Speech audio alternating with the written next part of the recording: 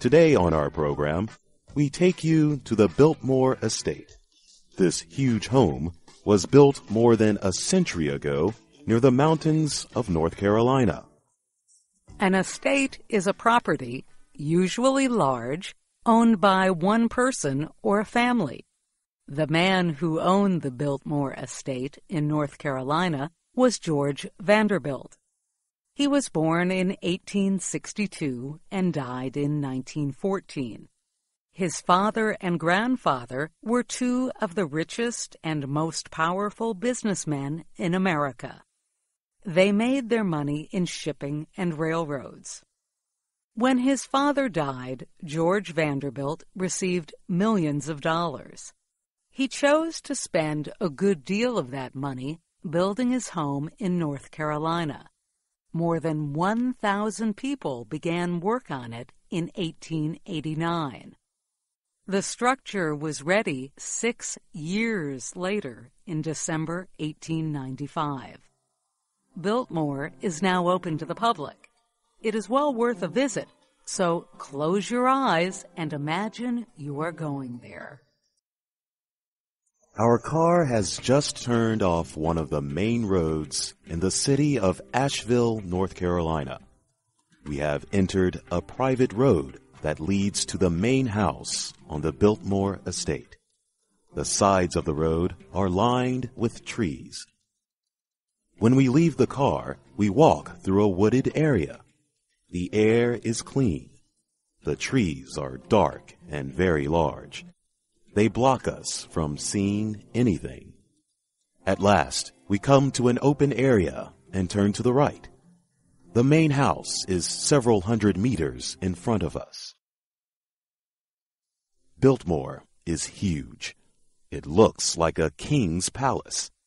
It measures 238 meters from side to side. It is the color of milk, with maybe just a little chocolate added to make it light brown. As we walk closer, it seems to grow bigger and bigger. It has hundreds of windows. Strange stone creatures look down from the top. They seem to be guarding the house. Two big stone lions guard the front door. Biltmore really has two front doors. The first is made of glass and black iron. We pass through it to a second door. This one is made of rich dark wood. Both doors are several meters high. The opening is big enough for perhaps six people to walk through side by side. A book has been written about the Biltmore estate. It includes many pictures of the house, other buildings, gardens, and the Vanderbilt family. The book says the house has 250 rooms. We cannot see and count them all.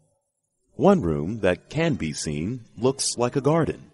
It is alive with flowers. In the center is a statue with water running from it. When we look up, we see the sky through hundreds of windows.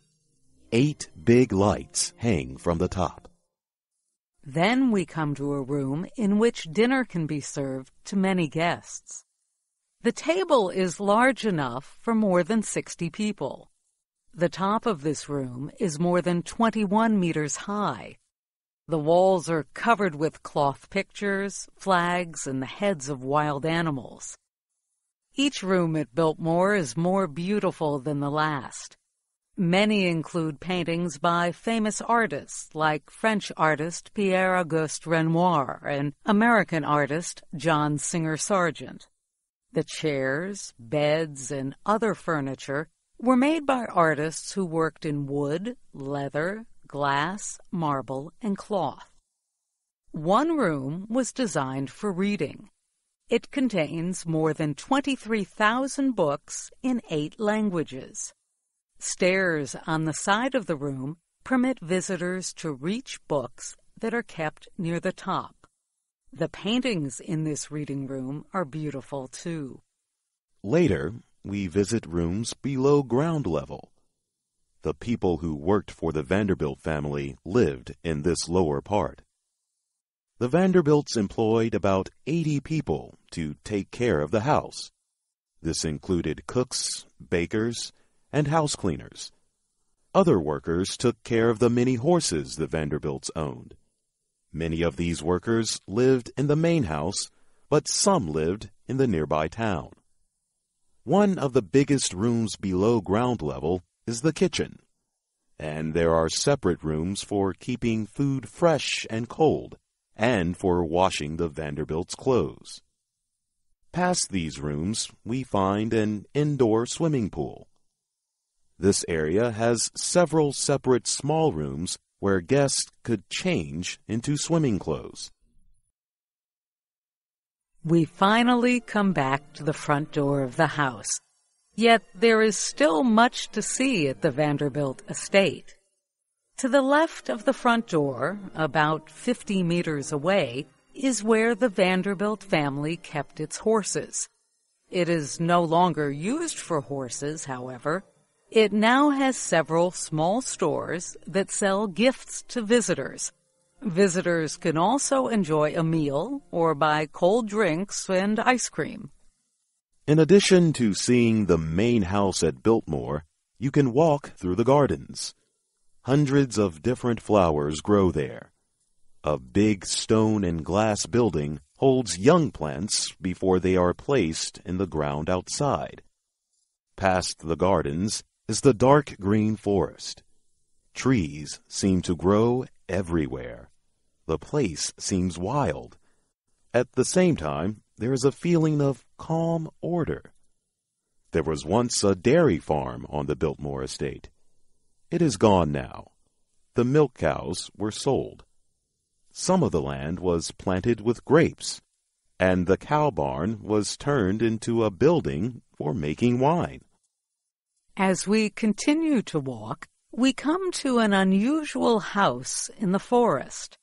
The road on which we are walking passes through the house. The house was used many years ago by the gatekeeper.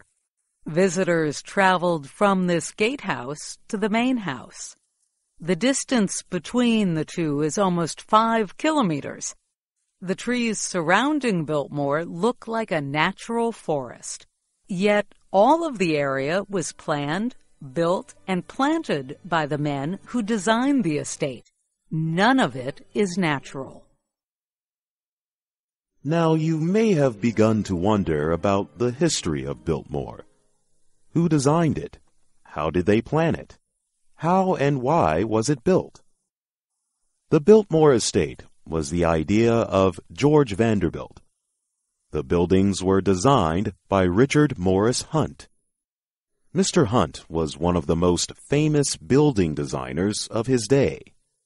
He designed and helped build several other big homes in the United States. Several of them were for other members of the Vanderbilt family. Mr. Hunt also designed the base of the Statue of Liberty in New York Harbor. Another famous man of the time designed the gardens at Biltmore. He was Frederick Law Olmsted. He is most famous for designing Central Park in New York City and the grounds around the Capitol building in Washington, D.C. One of Mr. Olmsted's first projects at Biltmore was to plant and grow the millions of flowers that would be used for the gardens there. Another man, named Gifford Pinchot, was also part of the team that designed Biltmore.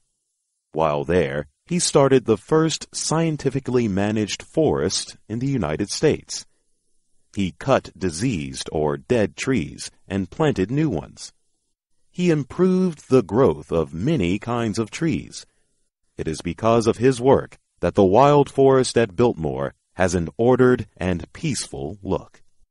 Gifford Pinchot left Biltmore to start the School of Forestry at Yale University. Later, he helped to establish the United States Forest Service. Biltmore is surrounded by more than 1,800 hectares of forest. The forest provides a wood crop that helps pay the costs of operating the estate. It was the work begun by Gifford Pinchot that makes this possible. Today, Biltmore belongs to the great grandchildren of George Vanderbilt. However, it is no longer used as a private home. Many years ago, the family decided to open it to the public. Visitors help pay the cost of caring for and operating it. Biltmore employs about 1,700 people who work in the house and gardens. The family says George Vanderbilt liked to have guests at Biltmore. They say he enjoyed showing it to others.